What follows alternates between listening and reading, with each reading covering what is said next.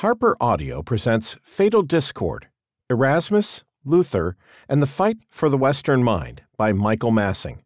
Read by Tom Parks. Introduction Toward the end of the year 1516, Erasmus of Rotterdam, then living in Basel, received a letter from George Spalatin, the secretary to Frederick the Wise of Saxony.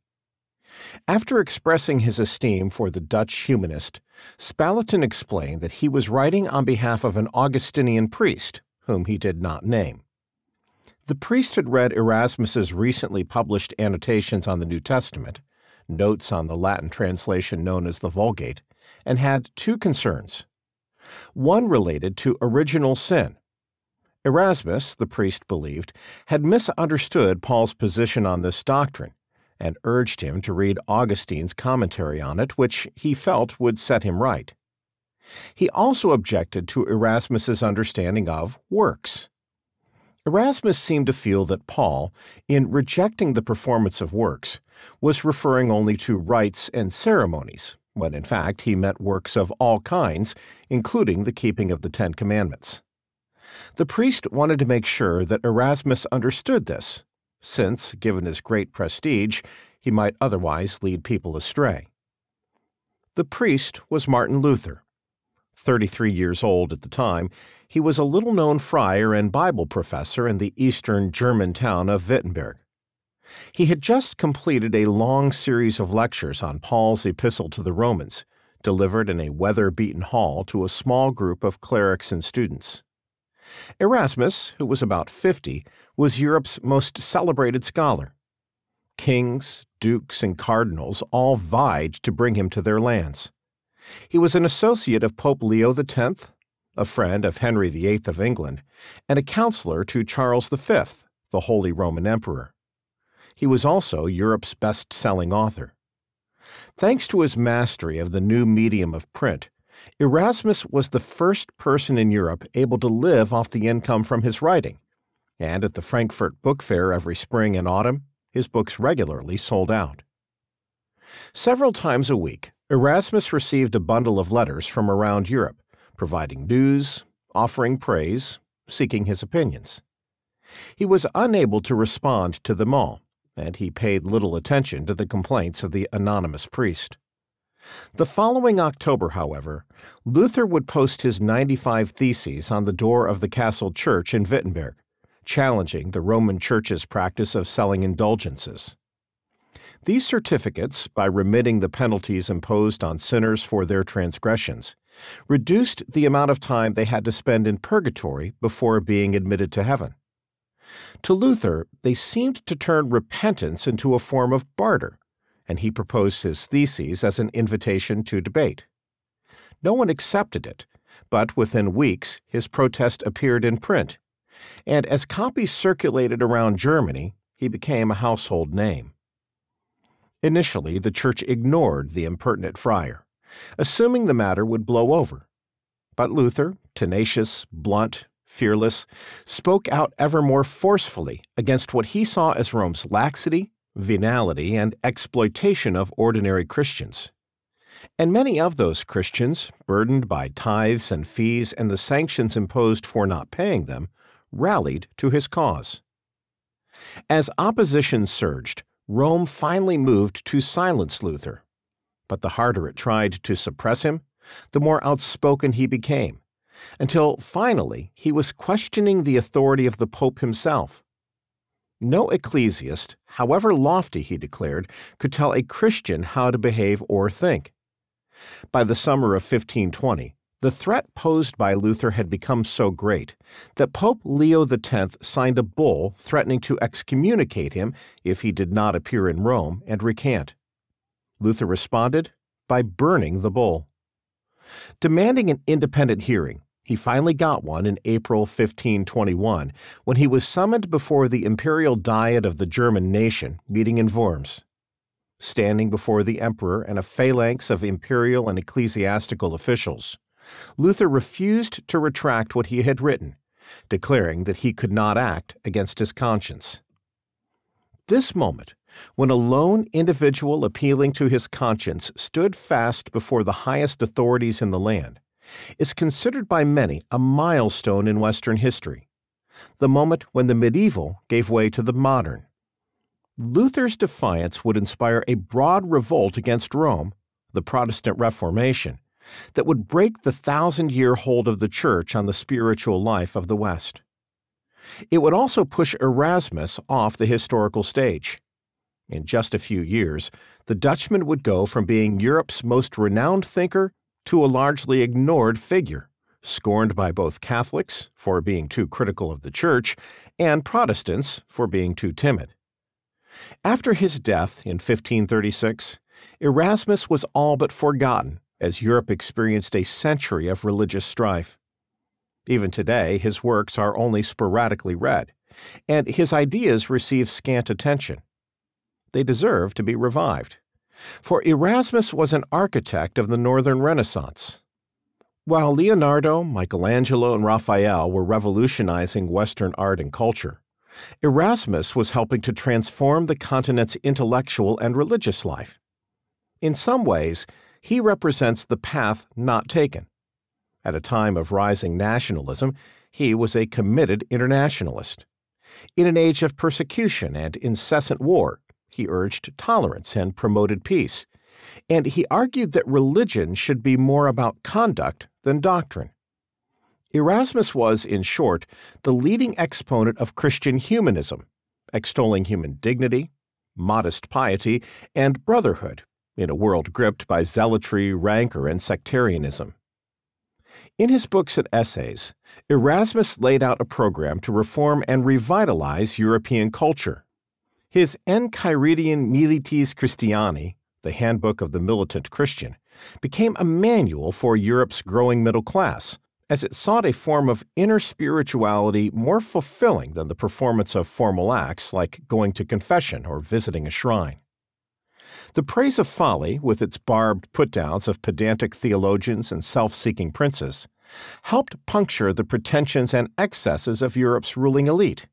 The Adages, a thick compendium of aphorisms called from ancient Greek and Rome and explained in lively essays, did more than any other work to revive interest in classical culture. Erasmus's treatises on education helped shape Western pedagogy for centuries, and his colloquies, colorful dialogues and sketches based on everyday life, offered sharp observations on the customs and conventions of 16th century Europe. Above all, Erasmus revolutionized the study of the Bible. At the time, the Vulgate was the source of all teaching and doctrine in the Western Church, its language consecrated by centuries of tradition and decree. Prepared during the waning days of imperial Rome, it was a Latin translation from the original Greek, in the case of the New Testament, and Hebrew in the case of the Old. And its accuracy was coming under challenge. Many of its words and phrases seemed to diverge from their original meaning and misspellings and other errors had been introduced by nodding scribes. Intent on correcting it, Erasmus spent years struggling to learn Greek so that he could read old manuscripts of the New Testament in its original tongue.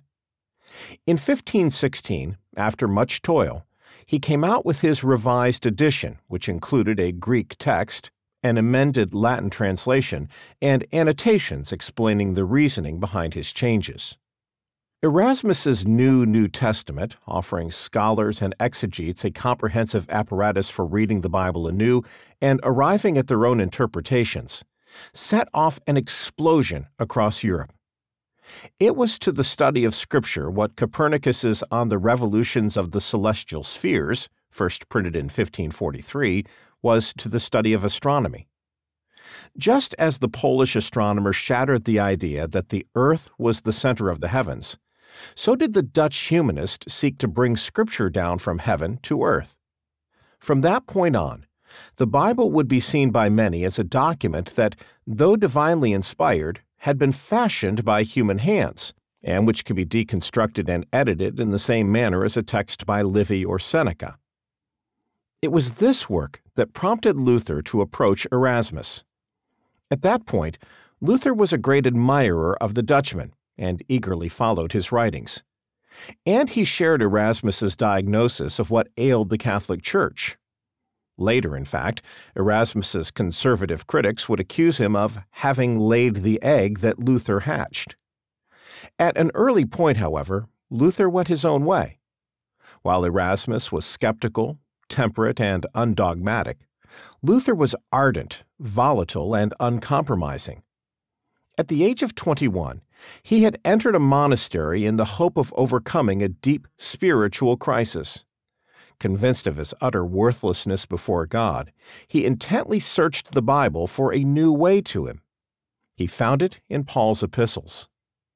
Luther's famous discovery of the doctrine of justification by faith alone while reading the Epistle to the Romans would become the foundation of his challenge to Rome and the core of the new Protestant faith. Erasmus, who had similarly entered a monastery at a young age but left it to see the world, was less interested in faith than in works. A Christian, he held, should in all things seek to imitate Christ. While Erasmus stressed the capabilities of man, Luther exalted the power of God. Where Erasmus sought to reform the church from within, Luther proposed a more thoroughgoing transformation. Eventually, the widening differences between the two men flared into a bitter competition, with each seeking through tracts and pamphlets to win over Europe to his side. Their rivalry represented the clash of not just two intellectuals, but also of two worldviews. The humanist, embracing the common bonds of humanity and the diversity of cultures and viewpoints within it, and the evangelical, stressing God's majesty and Christ's divinity, and insisting that all recognize those truths as supreme and incontestable. The two schools remain with us today. The conflict between Erasmus and Luther marks a passage in Western thinking, the point at which these two fundamental and often colliding traditions took hold. The struggle between them continues to shape Western society. On one side are Erasmus like humanists, seekers of concord, promoters of pluralism, believers in the Bible as a fallible document open to multiple interpretations, and advocates of the view that man is a fully autonomous moral agent. And the other are Lutheran style evangelicals, who seek a direct relationship with God, embrace faith in Christ as the only path to salvation, accept the Bible as the Word of God, and consider the Almighty the prime mover of events. The continuing influence of these two outlooks can be seen in the divergent paths taken by Europe and America.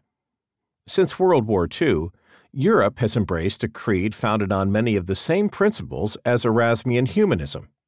The European Union embodies many of Erasmus's core ideals. Luther's ideas, meanwhile, have found their most fertile ground in America. The one fourth or so of American adults who are evangelical in orientation seem in many ways Luther's offspring. Traditionally, John Calvin has been considered the Reformation figure who has most shaped American life. His teachings about predestination, grace, salvation, and the elect are widely seen as having strongly influenced early American society, leaving a permanent imprint on the country's spiritual, cultural, and political life. This perspective owes much to Max Weber. In The Protestant Ethic and the Spirit of Capitalism, he argued that the Calvinist preoccupation with salvation led early Americans, anxious for signs that they had been saved, to embrace such godly virtues as industriousness, asceticism, and thrift. Becoming ingrained in the American way of life, such traits help nurture the capitalist spirit. Weber's thesis has given rise to a massive literature both pro and con. Whatever its merits, the Protestant ethic has had the effect of highlighting Calvin's influence in American life. Yet Calvin got many of his ideas from Luther. It was Luther who developed the doctrine of predestination that was so central to Calvinism. It was Luther who developed the revolutionary idea that Christian authority rests not with popes, councils, or tradition, but with the Bible and it was Luther who insisted that all Christians should have the right to read that document on their own. Luther further held that once a Christian has determined the Word of God, He must tirelessly proclaim and promote it, even in the face of scorn, mockery, and persecution. Later in life, Luther backed away from some of these principles. Enraged by the peasants' uproar. We hope you enjoyed this preview. To continue listening to this audiobook on Google Play Books, use the link in the video description.